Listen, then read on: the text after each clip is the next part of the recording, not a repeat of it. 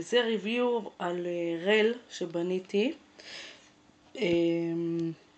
לכל החבר'ה שמה שמעוניינים.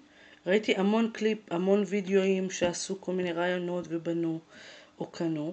אז זה באמת רל, והוא עשוי כמובן ידית בחומרי בניין, אתה יודע, חשמל, כל הקשקושים שאפשר למצוא, ברגים, מסמרים, כל מה שקשור לבית, אז אפשר למצוא רלים, בעצם ידיות, וזה הכי דק שהיה להם, רציתי יותר דק, אבל זה הכי יחיד שהיה בצורה ישרה, כל השאר היו עם קשקושים, אבל אפשר למצוא גם בצורה כזאת, כל מיני, ואפשר לחבר את זה לכל מיני דברים, כרגע לא היה לי כל כך מה, נכון לעכשיו הוא לעץ, חתיכת עץ, צריך לקנות או להביא מאיזה נגר, איזה חתיכה פשוטה, אבל שמתי בעצם כאלה מין מעצורים של דלת, זה מגיע עם הבורג ופשוט חיברתי.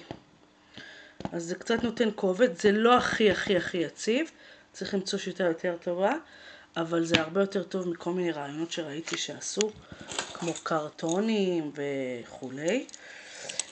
אם אתם רוצים להעביר את זה ממקום למקום, אז לא שווה להדביק את זה למקום אחד, אבל באמת אולי חתיכת עץ אפשר לחזק את זה.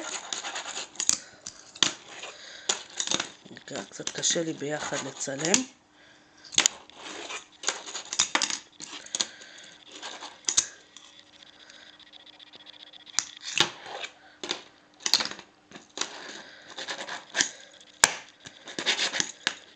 אוקיי, רגע, ננסה אולי ככה להראות איזה דוגמונת קטנה.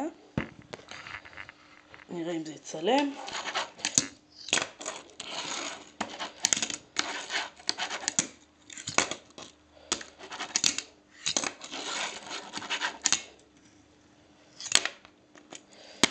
אוקיי, עד כאן חברים, ריוויו קצר, איך לעשות רעיון של רל, שיראה כמו שצריך.